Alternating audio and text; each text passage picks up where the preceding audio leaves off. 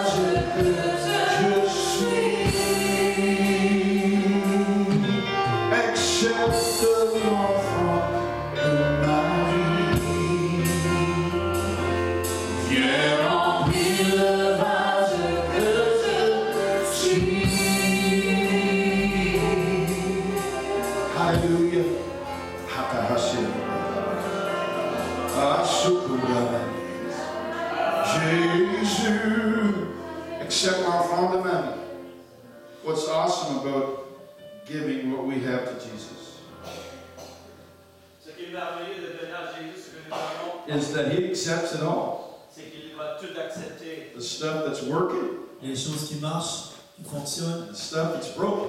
Les choses qui sont brisées.